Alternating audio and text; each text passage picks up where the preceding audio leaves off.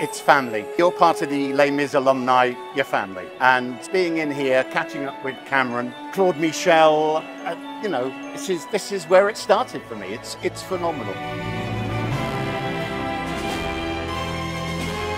There's people here who've been in it over the sort of 39 years, all over the world. So it really is a coming together of this sort of university of Les Mis. I'm surrounded by people I've admired since I was, you know, younger than I am now.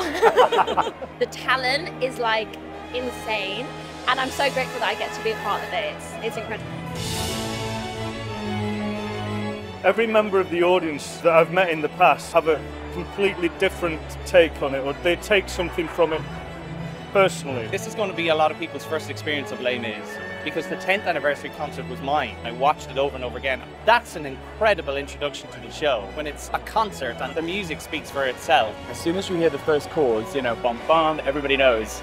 It just, you get goosebumps every time.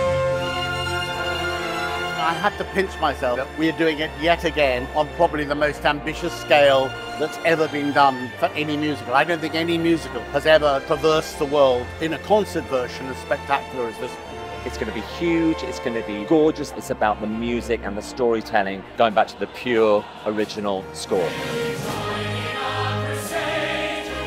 I quite literally grew up watching videos of some of these gentlemen that I'm now getting to sing with. I grew up in a small town, so that was sort of my access. For theater in this industry, it's nothing short of a full circle moment for me.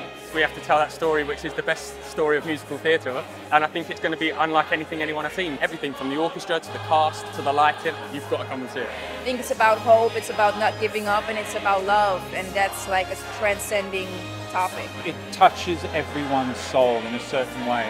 And it doesn't matter how old or how young you are, everyone gets something out of it. I didn't think this was ever going to happen. No, I never did. I can't believe it. Les Mis, but like it's never been done before.